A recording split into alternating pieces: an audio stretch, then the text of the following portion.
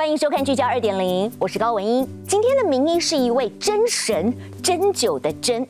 我手上这个是耳朵穴道模型。今天呐，我们的耳朵有这么多的穴道，哎，它对应的是五脏六腑，哎。然后呢，这个名医要告诉大家，有一套叫做揉耳法，这个揉耳法治百病，甚至他自己的坐骨神经痛，十五年不再复发。欢迎胡红琴院长来到《聚焦二点零》，胡院长你好，欢迎欢迎。好。各位观众朋友，大家好。如果这个耳垂有一个很垂直的一个线，特别是年纪大的这个病人呢，这个就是心脏比较不好的病人。我们通常称这个叫冠心沟，慢慢慢慢滑动。如果滑动到痛的地方的时候呢，你就可以知道哦，原来是这个地方身体里面失去的平衡，在这边叫他每天按摩。那按摩到一个礼拜以后。他就回来跟我说，他的睡眠已经明显的改善。最怕的就是你如果用水煮的话，只喝那个水，然后把枸杞倒掉，哇，那就糟糕，那叫白吃了。你在看电视的时候呢，或是你在听音乐的时候，你就这样子做，它对我们的脊椎非常非常的好。哦。顿一下，其实顿这一下真舒服，它你这个脊椎啊就被撑一下，好像在做那个拉的那个运动，任意的旋转一下你的眼球，那你会发现呢，你手下按的这一块肌肉呢，它是会有一个微微的跳动。是啊，你就会觉得呢，这个滚筒在按摩我们的那个胸椎两边的肌肉，就是所谓我们高肓痛的这个部位。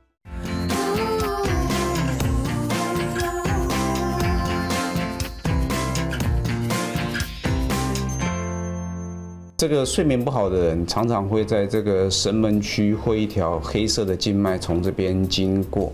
哦，那其实我们这里可以诊断，也可以治疗。所以来，你睡觉的时候呢，可以从这个地方去按摩。哦，然后手的话可以这样子，前后呢用指腹的话，轻轻的从这个地方去按摩。哦，用薄荷在这边涂抹，含有薄荷的清凉油在这边涂抹。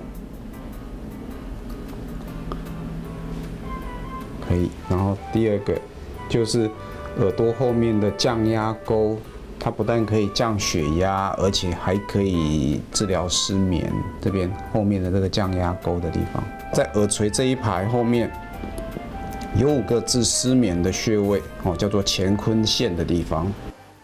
有没有生病？院长说看耳朵就知道，今天就是揉耳法治百病啊！哇，院长，揉耳养生助长寿，这两个真实个案是您特别去拜访，一位是陈立夫先生，一百零三岁辞世，另外是张俊中医师，您帮我们分享这两个故事吧。好，那。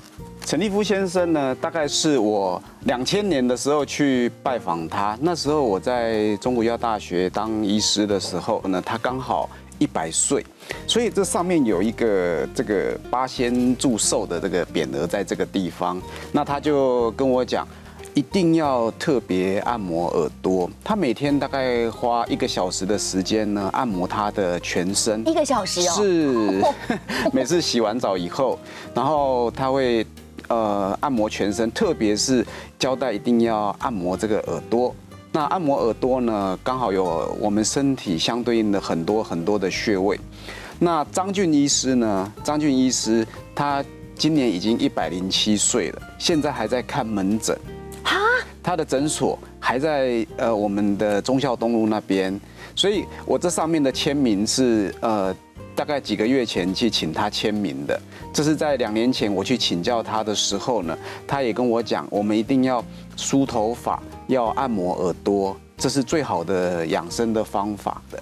好，院长就要告诉大家哦，耳朵其实是对应到身体的各个组织器官，或许您可以拿相机拍下来，假设啊，你看。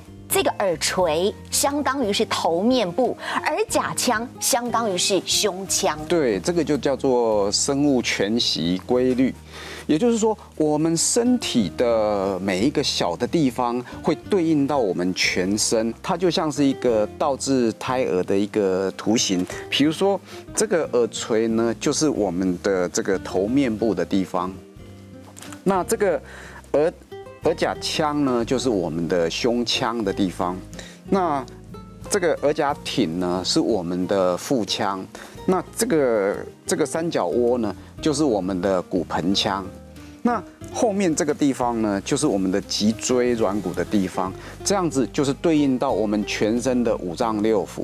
所以，呃，我们只要身体有哪些毛病，就可以看耳朵；身体有哪些毛病呢，就可以按摩耳朵来治疗。好，呃，院长，您旁边有一个耳朵的模型，是所以假设我现在我说我要按我的耳垂，是是是耳垂这个部分，通常是按到这里很有名的一个叫做眼区。这个眼区呢，就是对我们眼睛非常非常好的地方了。这些常常在在划手机或是看电脑的这些人呢，一定要常常去按摩你的耳垂的地方。这个耳垂就是我们的头面部。好，所以按摩耳垂呢，不但按摩到眼睛，还有按摩到我们头面部的相关的一些穴位。你有生病吗？我看你的耳朵就知道啊。失眠患者、心脏有问题的患者跟耳朵退化的患者，其实是会呈现在耳朵上的。对，那比如说我们这边有三个很明显的一个例子，就是像这一个呢，这是一个一个失眠的一个女生，然后她心脏也不是很好，所以在她的这个耳甲腔的地方呢，会有一颗凸起来的东西。她后来她呃失眠好了，心脏也比较好了以后，这颗凸起来的地方就消失不见了。那像第二个这个图呢，它比较垂直。好，所以在电视机前面的观众朋友呢，你们也可以看一下，如果这个耳垂有一个很垂直的一个线，特别是年纪大的这个病人呢，这个就是心脏比较不好的病人，我们通常称这个叫冠心沟。那年轻人呢，如果有出现这个，第一个要注意心脏，第二个是要注意一下是不是压力过大。啊，又是压力。对，所以如果压力过大或心脏不好的人，你就可以从耳垂这边看到有一个垂直的一条线。那第三个图就是耳鸣的病人，如果是耳鸣的病人，在耳垂呢会有一条比较平行的一条线。这个就是耳鸣的病人，那这个诊断力呢，大概有到七成到八成，甚至最近呃三种的一个耳鼻喉科医师才传了一个杂志，叫做《新英格兰杂志》给我，这个是在医学期刊里面常常发表的一个线，所以它的诊断度很高。只要我们门诊里面看到呃有病人有一个比较平行的耳垂的一个沟的时候，那就可以很确定的，他耳朵已经开始慢慢在退化了。所以从耳朵里面就可以看到很多身体的一些毛病。院长，所以我们想说，奇怪，你这中医师是会算命嘛？原来你就是是从这个地方看得出端倪。好，那接下来我请院长拿模型哦，各位观众朋友，我们仔细来看啊，揉耳治百病。假设您失眠的话，院长，您告诉大家是要揉哪里呢？请您拿模型喽。对，好。那一般呢，如果是因因为社会压力实在太大，所以根据统计呢，我们台湾呢四个人里面就有一个失眠的病人。我们这里有一个三角形的凹窝，三角形的凹窝的后面的这个尖端的地方呢，有一个叫做神门穴、神门区。神门区的地方呢，这里就是我们针对睡眠最好的、最好的一个穴位，甚至呢，它可以疏解压力。所以，针对忧郁症啊，或是躁郁症的人呢，这个穴位也有很大的帮助。那你可以用手轻轻的在这个地方按摩，或是很简单的，你就用含有薄荷的这个些清凉油，在这个地方把它擦一擦。那因为薄荷里面，它虽然你感觉凉凉的，可是呢，它有很好的活血的作用，就是对我们这个穴位做按摩。所以一般呢，只要凉凉的地方还没退呢，很多很多病人就已经睡着了。真的，是，好方法是，这是一个非常棒的地方。失眠就是按那儿就对了。神门穴。好，再来啊，坐骨神经痛，请问按哪里？是对耳轮的下角。哎，可是为什么它是臀呐、对应的是臀哦，没错，哎，应该是这么说。我们这边是坐骨神经，对，这边是坐骨神经，那这边是臀区，这边是臀区，臀臀部的地方，那这边是腰椎，所以这一区呢，整个都可以按摩下来，从从这个腰椎到臀区到这个坐骨神经，这一这一区，因为我们的坐骨神经刚好就从我们的腰椎出发，它会痛到屁股，痛到大腿。还有痛到这个脚的地方，所以我们只有坐骨神经痛，我们要从这一区腰椎这一区的地方开始按摩到这个臀区，然后按按摩到这个坐骨神经区地方。您您自己坐骨神经痛十五年，所以是是是，你自己就按这个位置。常常按这个地方。你什么时候按？耳朵呢，它有一个好处，它随时随地都可以按。只要你在坐公车，或是你在你在等捷运啊，或是呃平常站着、坐着、躺着，随时随地都可以按，而且它也不按呃没有次数的限制。比如说啊，你那边没事的时候，一边看电视的时候，一边就可以按摩你的耳朵。好棒哦，院长，我这个手针也是有一个医师送给我，那那时候我就在想说，哎，这是要干嘛用的？那如果说我拿手针来，像你刚刚教的这一个坐骨神经区，我去搓它，这样也可以，是不是？可以，也可以。这个睡眠区我去搓它，像这个就是牛角的，那你那个就是呃哦金属的，这个可以做诊断。我们就在耳朵上面这样滑动，慢慢慢慢滑动。如果滑动到痛的地方的时候呢，你就可以知道哦，原来是这个地方身体里面失去的平衡，它会反映到痛点。那反映到痛点了以后，你可以用这个地方轻轻的按摩这个你感觉到痛的地方。那你如果因为这个太尖了，所以有时候会有一点点不舒服，你可以用一个比较钝的面去按，就比较不会那么疼痛，因为压力没那么大。真的耶。那观众朋友没有这个东西怎么办？没有关系，双手万能，用我们的手指的指腹就轻轻的揉它就好了。我曾经有一个病人呃失眠，所以我就要教这个医师、住院医师跟实习医师，我就跟他们讲说这里是神门区。结果我手一碰到他的神门区以后，病人整个跳起来，我跟住院医师、实习医师全部被吓了一跳，因为他很痛很痛。后来我就没有帮他贴耳针跟耳豆，我就牵着他的手在这边叫他每天按摩。那按摩到一个礼拜以后，他就回来跟我说，他的睡眠已经明显的改善。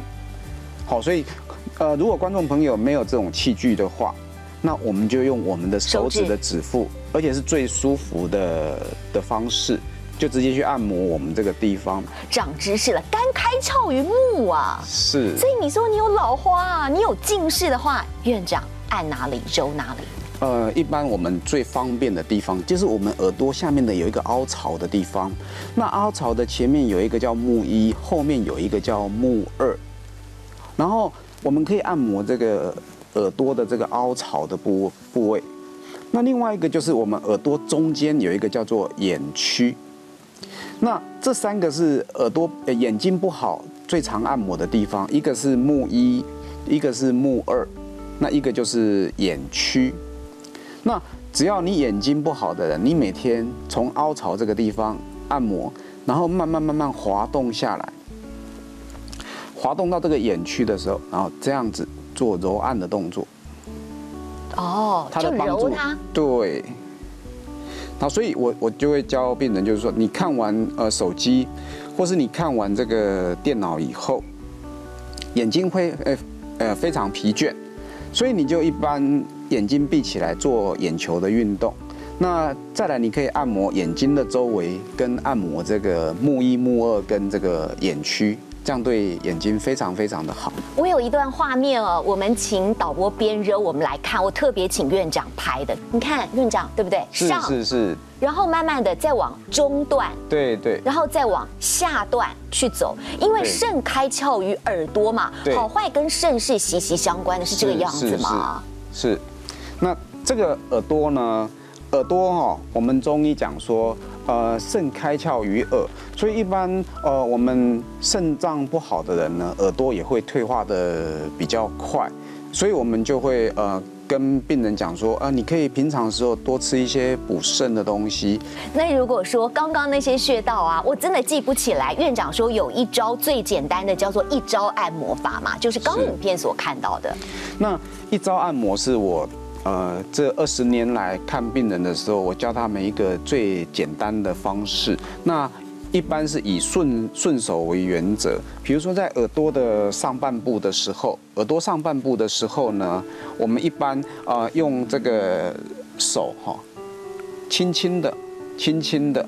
其实刚开始的时候，你可以先用手轻轻的在这边，呃，做抚摸的动作就可以了。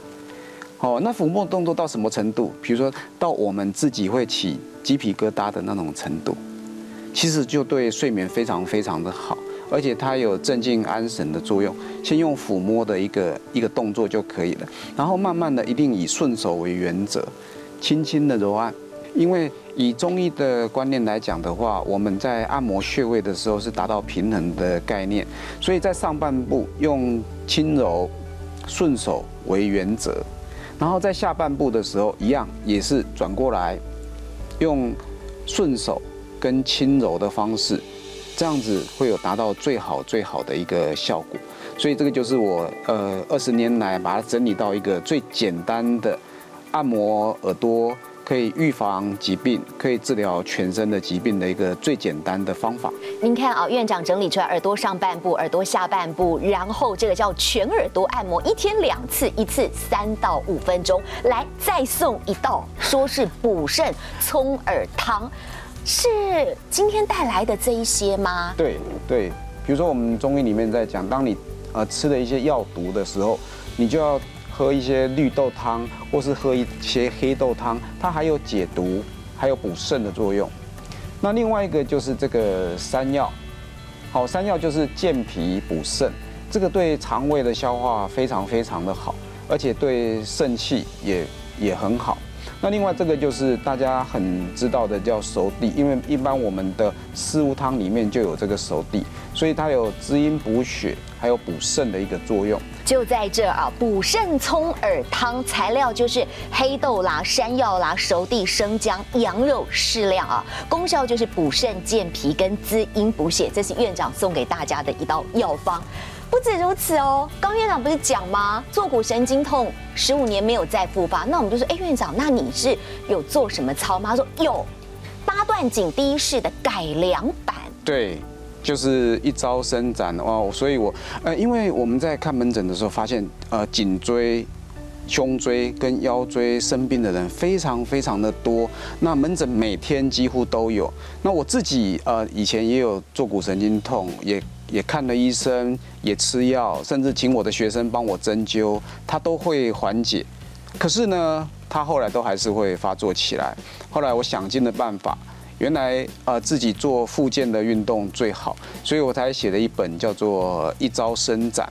那在门诊里面哦，有有遇到两个老年人，一个是他住在我的诊所的隔壁，只有两百公尺，他是坐计程车来的，因为他根本没有办法走路。那他坐下来的时候就说：“哇，他快快死掉了，没有办法去美国看孙子。那看遍了所有的心脏科的主任啊，还有很多中医师，效果都不明显。那我就看他很奇怪，他为什么整个被驼得很厉害？然后又看他耳朵的脊椎暗沉，非常非常的暗沉。所以呢，我就认为他有脊椎的问题，所以我的开了一些中药。”然后帮他针灸，然后交代他呢，每天回去要做伸展运动。那后来半年以后啊，他现在竟然每天都可以游泳到五百到八百公尺，而且全台北市拍拍照都跟我介绍哪边有好吃的东西。对啊，还有一个就是已经九九十几岁的这个老者哈，我我也是帮他针这个脊椎，然后教他做伸展运动。结果他说啊，吴医师，我们两个有同感，因为他已经做伸展运动做了二十几年了。那这个九十几岁的老者呢，他现在全世界到处玩，还玩了六十几个国家。他每次从国外回来都会带一点小点心来给我吃，表达谢意。对他也是，而且他在全世界教人家做伸展运动，已经九十几岁了，他走路呢还不输年轻人。那这一招当然非学不可了！是是是。所以我们现场有位美女医师啊，蒋医师，欢迎蒋医师。因为院长要请蒋医师一起来教大家这一周伸展法到底要怎么做。来，好，呃，我们先。将手呢交叉交叉放于小腹前面，好放很轻松，然后双脚与肩同宽，双双脚站立与肩同宽。那如果是呃年纪大的人，我们后面呢可以靠墙啊。如果年轻人的话，一般就不用。那双脚与肩同宽，然后慢慢慢慢吸气，到胸口的时候翻掌吐气，往上。好，手往上，然后这样子伸展，然后你会感觉到颈椎、胸椎、腰椎是往上撑的。那眼睛往前平视，收下巴，然后一定要自然呼吸，不可以憋气。好，然后呃，年轻人呢还可以把脚垫脚尖。那如果脚酸了以后，就可以把脚尖放下来，然后千万不要憋气。好，一定要自然呼吸。那如果年纪太大的人，就不要。呃，不要垫脚尖，因为我怕他会跌倒。那手往上拉，这样不但按摩到我们的手掌的两百多个穴位，也按摩到脚底的两百多个穴位，而且呢，也把十二条经络整个都拉拉开。那当手酸了以后，就慢慢把手放下来，吸气，然后到胸口翻掌，吐气，慢慢把手放到小腹前面。这个就是我们的很简单的一招伸展，可以站着做，可以躺着做，好，还可以呃做一个屈膝的动作。对，因为它好像做不到三十秒，你的上半部开始麻，觉得血液循环。我有一套进阶版的 VCR，我们一起来分享。我慢慢吸气，并将手往上举，吸气到胸口以后翻掌，吐气。引体向上，眼睛直视往前，微收下巴，尽量将我们的颈椎、胸椎、腰椎往上牵引，用一点力量，自然呼吸，不可以憋气。酸了以后再放下来。在做的同时，千万不要憋住呼吸。哦，休息够了以后，再吸气，翻掌，吐气。一招伸展，如果每天多少做一下哈，做的时候会排气，肚子会在流动，所以这个是帮助消化。好，再来就是说怎么喝呢？院长，我过去全喝错了。我们家冰箱都有啊，你打开冰箱其实都有。可是院长说你这个是务必连同果子、呃种子跟果肉要一起服用才会见疗效。是，这个这个是我很自豪的哈。我自己读到医学博士，然后我现在当当教授，在学校教书，我到现在眼睛都还还很好。还没有近视，没有老花，所以我自己没有戴眼镜。我大概就是从呃国中的时候我就开始吃这个枸杞，但是很多人吃枸杞都吃错了啦。一般我们这个枸杞，不管你是干吃，还是你煮开水，还是你泡茶喝，你一定要记得把汤呢喝完以后，然后把这个枸杞的肉跟枸杞的籽呢。一起一起把它吃下去，因为它里面的所有的营养，它的胡萝卜素啦，它的这个维他命 A 啦，还有它的矿物质，都在这个果实跟种子里面。甚至呢，我一定要教并呃这个观众朋友，他你在那个枸杞在我们的口腔里面，一定要用这个牙齿呢细细的把它咀嚼。咀嚼的很细很细，要去嚼它就对了。对，然后嚼很细以后呢，再吞下去。而且，因为我们的口腔里面的这个唾液里面有很多的消化酵素，嗯，如果这个营养经过我们的口腔的消化酵素，还有胃的消化酵素完全吸收以后呢，它真的对。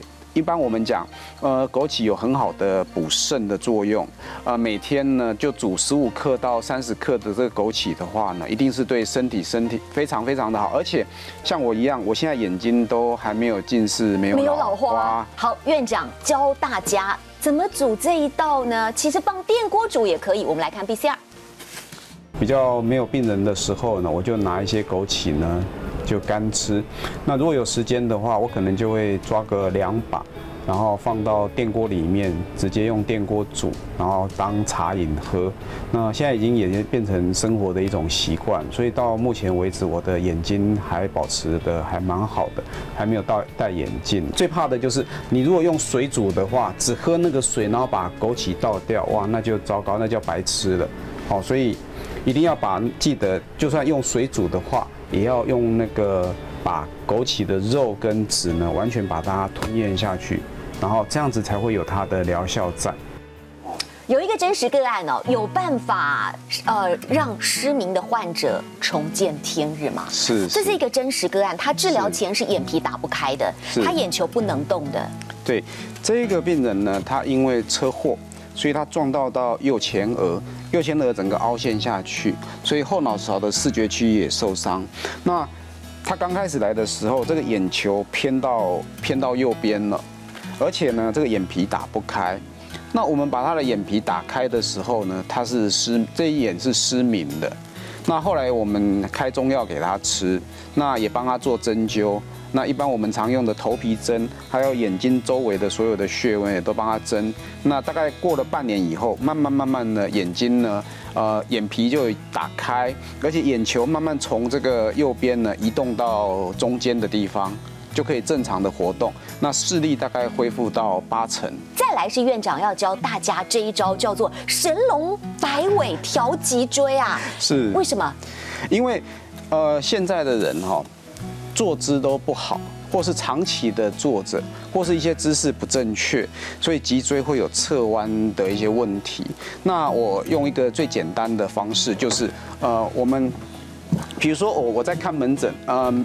平常没有病人的时候，我就在我的诊间里面做一个简单的动作。那一样，我们站着呢，双脚与肩同宽，然后稍微呢把屈膝，这个地方有训练到我们的小腿跟这个这个股四头肌的一个力量，所以还可以预防这个膝盖的退化。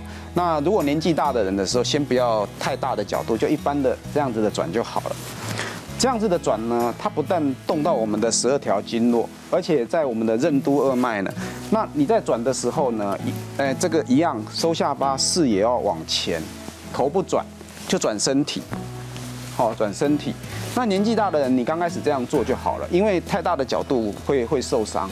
然后慢慢慢慢热身以后呢，你要稍微把手呢往上拍，非常非常轻松的往上拍。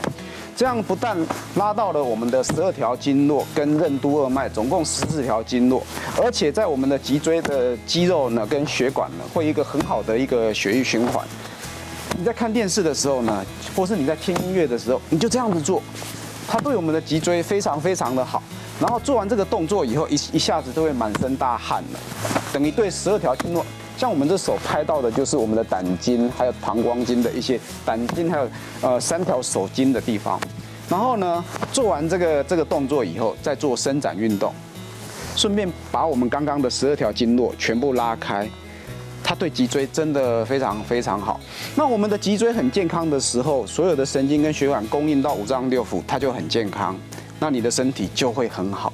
这个就是最简单的哦，神龙摆尾调脊椎的一个动作，学到了，长知识了。稍后聚焦书房，任意的旋转一下你的眼球，那你会发现呢，你手下按的这一块肌肉呢，它是会有一个微微的跳动。有哎，对，在额甲挺的尖端的上面的地方，这个叫大肠区。顿一下，其实顿这一下真舒服，它你这个脊椎啊就被撑一下。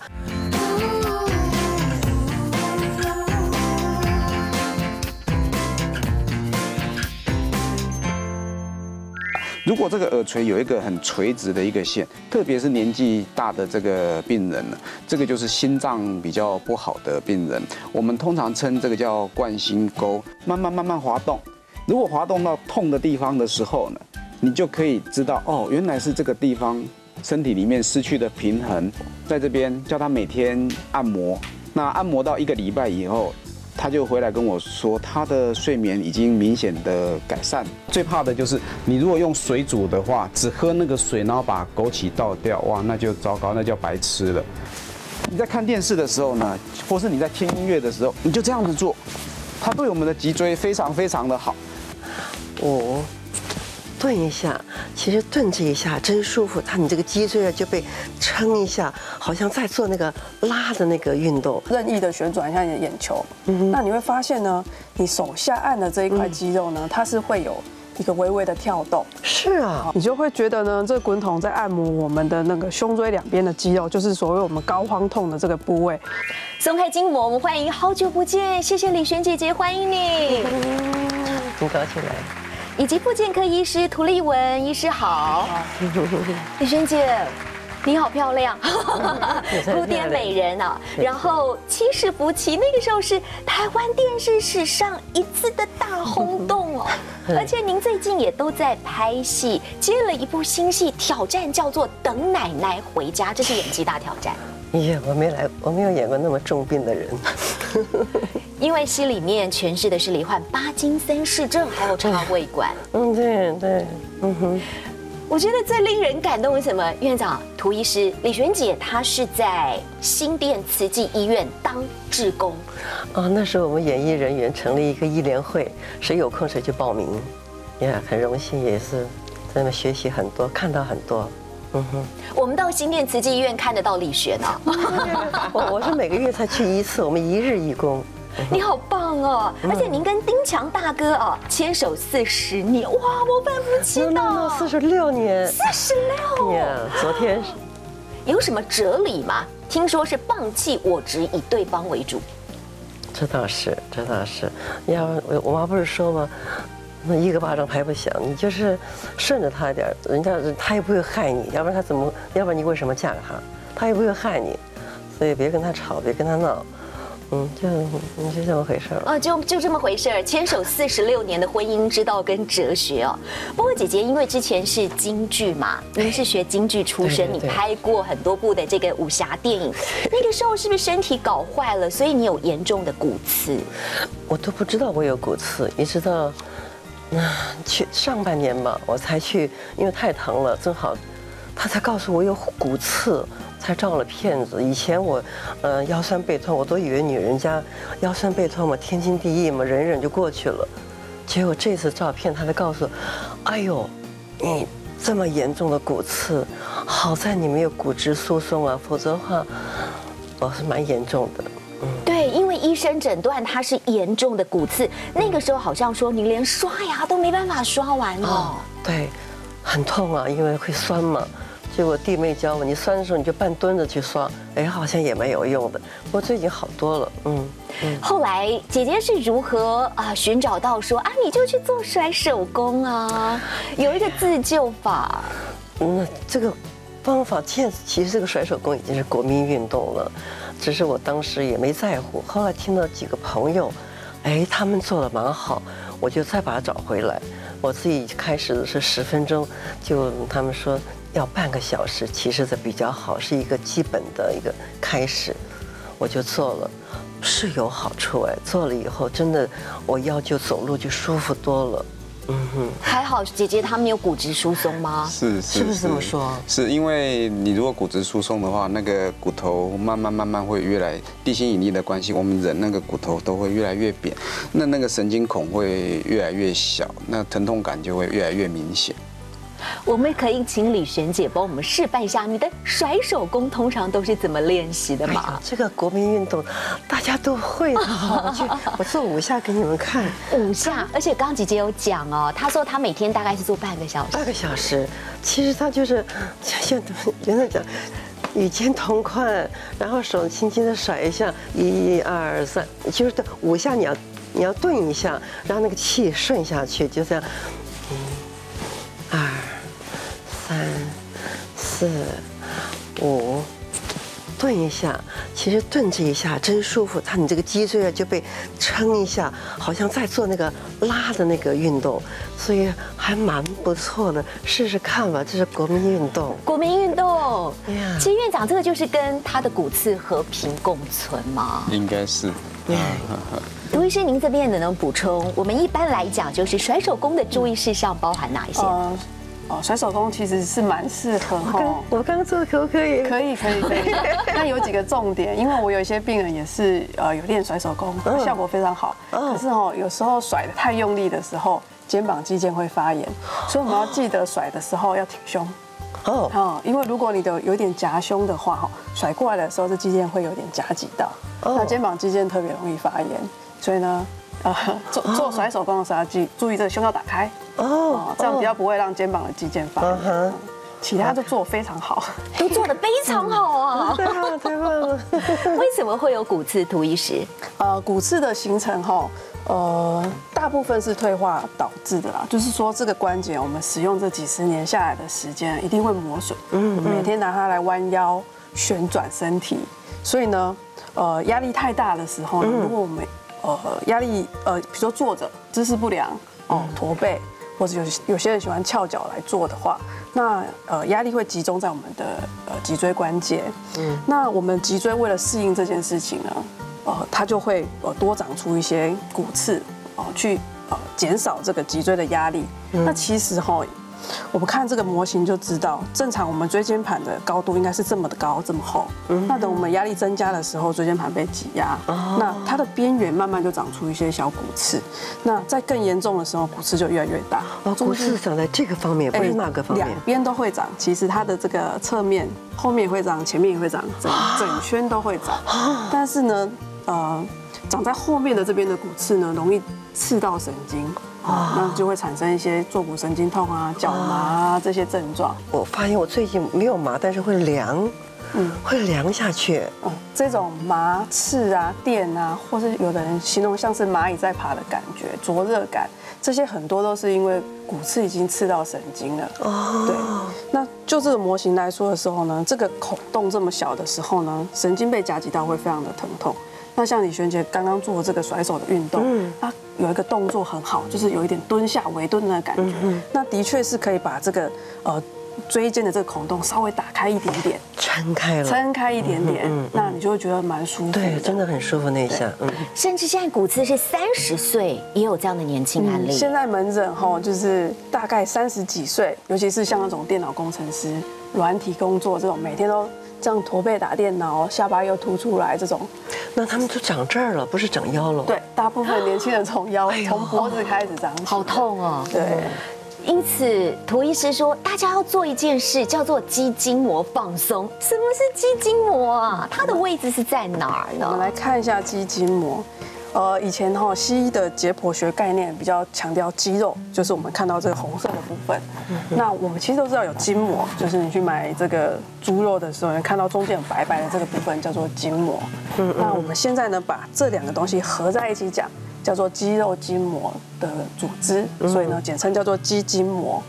那这个肌筋膜呢，很容易紧缩、紧绷，产生疼痛。所以呢，我们现在会做一些伸展啊，或者是用滚筒的自我按摩，去减少这种肌筋膜的紧绷疼痛。嗯，有两招非常的重要，而且我觉得非常的神奇哦。来，呃，各位，涂医师说你要去动你的眼部肌肉，而且要把手放在哪？风池穴，就是中医的风池穴那，是不是？是。结果怎么会？真的是，你就是说，你去做眼部的运动，你可以松缓你的。脖子的紧绷啊，对，呃，这个肌筋膜就很神奇的地方，就是它连接我们身体，贯穿全身，其实跟中医的经络很像，它是无处不到、无孔不入的。那有一些连接呢，我们呃觉得很神奇，像我们示范一下这个眼睛跟我们后颈部的肌肉这边，如果我们把手呢放在我们后颈部这里，就是风池穴的这个位置的时候，那我们闭上眼睛呢，你把你的眼睛往右边看到底，往左边看到底，往上。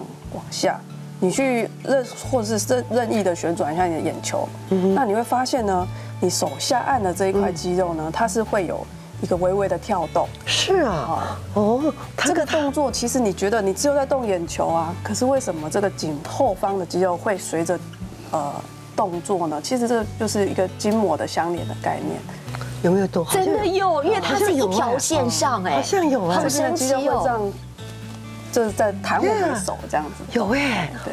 所以当我觉得我很紧绷的时候，做刚刚这个图一睡觉的那个护眼运动，嗯，我就可以让我的很紧的脖子稍微松一下。是，有一些小道具，是个弹力带嘛？弹力带哈，是我们现在拿来训练肌筋膜非常好的道具。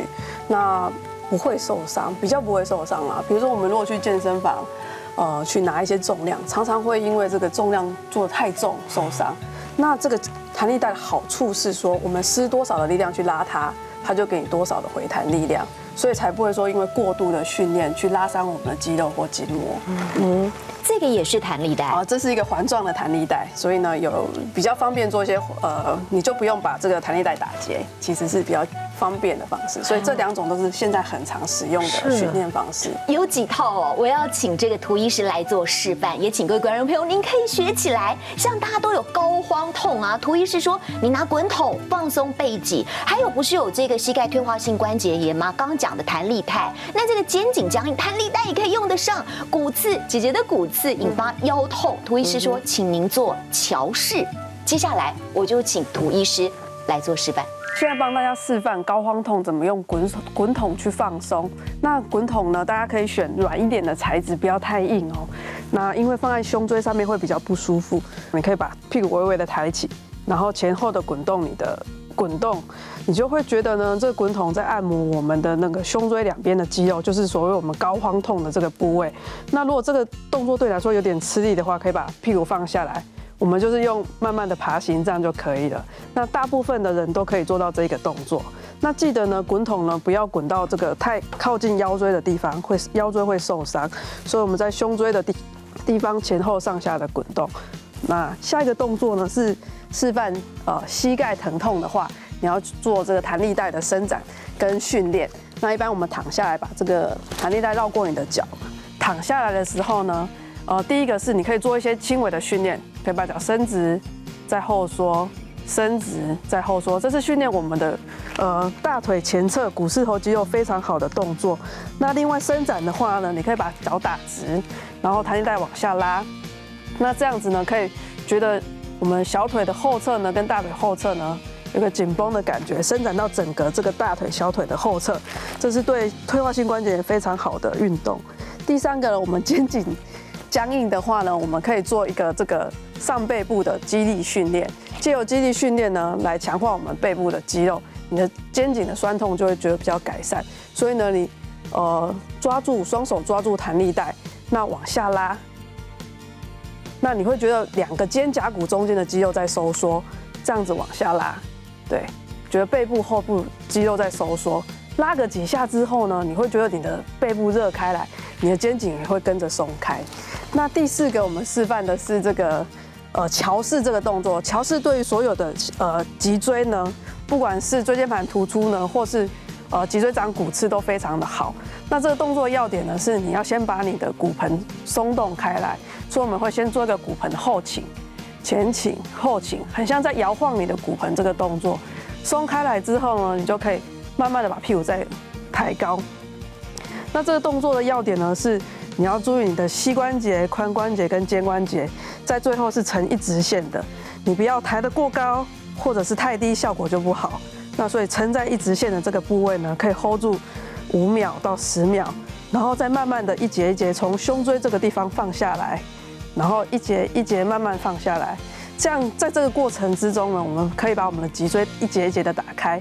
那这个穴位呢，其实对肠子的蠕动，甚至连肠阻塞。效果都非常非常好。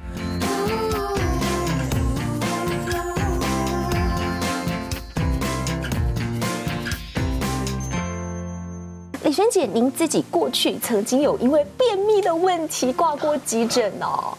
真羞死了。Yes，是的，我 我都在吃软便，那个叫便秘药。我以为我上厕所就好了，我从来没有觉得我还有问题。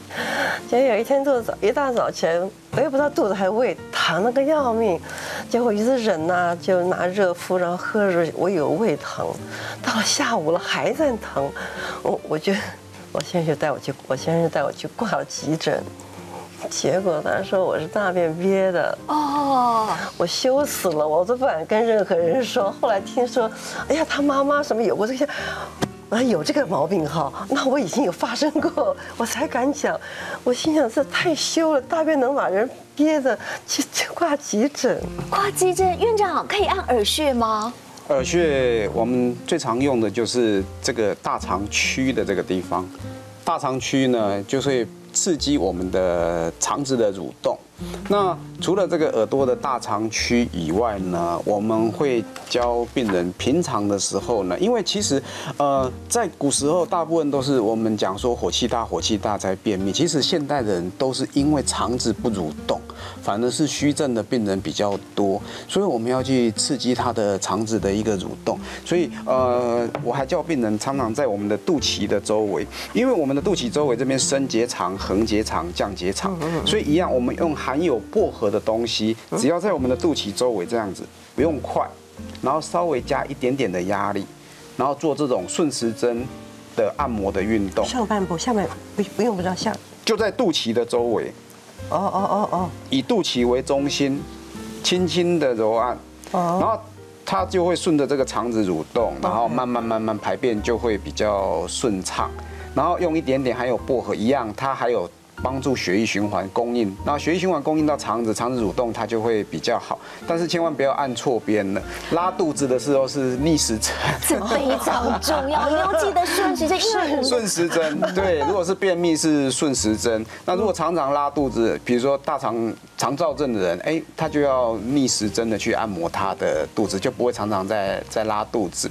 那另外有一个很有名的穴位就是叫做足三里穴。那这个足三里穴呢，其实呃，我那时候在在中国药大学的时候，外科医师常常会诊我们去帮他治疗，因为他不能吃东西，打了点滴也没有用。那我们连那个肠子塞住，我们一般叫肠阻塞，针这个足三里穴位都效果非常非常好。甚至我们有十几个例子呢，本来应该要开刀的，后来针的这个足三里穴，哎，它就自然排气排便，就不用开刀了，就不用开刀了。哦，这是非常全世界很有名的一个穴位。好，它在这个我们的膝盖关节下面四个手指，那四个手指以后，你要摸到这个。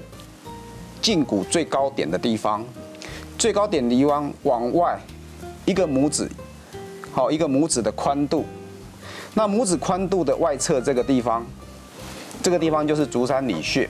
那这个足三里穴，因为它比较深层，所以你用手按会很酸。所以我们建议用一个这个木棒，或是牛角棒，或是我们圆子笔圆圆的那个钝头的那一边，然后。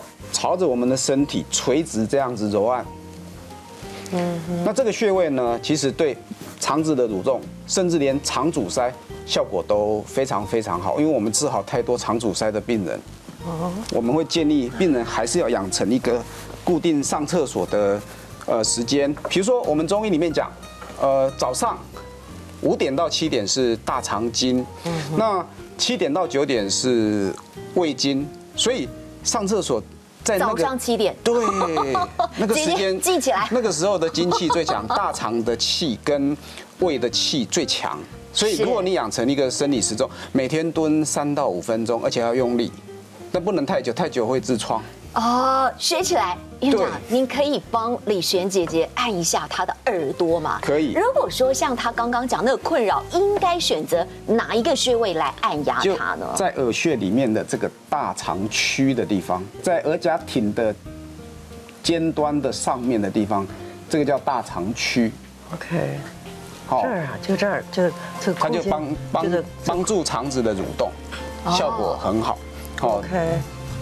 这个大肠区的二甲挺的尖端上上部的那个地方，嗯嗯嗯嗯嗯，OK，记得那个穴位，每天就是去按压它，真是好神奇。